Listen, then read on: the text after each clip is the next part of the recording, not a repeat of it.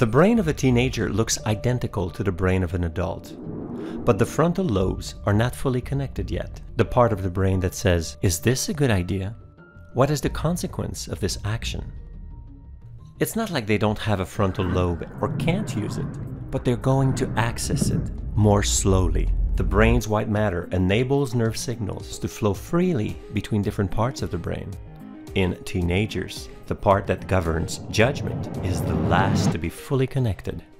It doesn't matter how smart teens are or how well they score on their ACT or SAT, because good judgment isn't something they can excel in, at least not yet. Research has shown that the rational part of a teen's brain is not fully developed, and it won't be until the age of 25. And this is why when a, a teen is experiencing an overwhelming emotional input. They can't really recall later what they were thinking because they weren't thinking as much as they were feeling.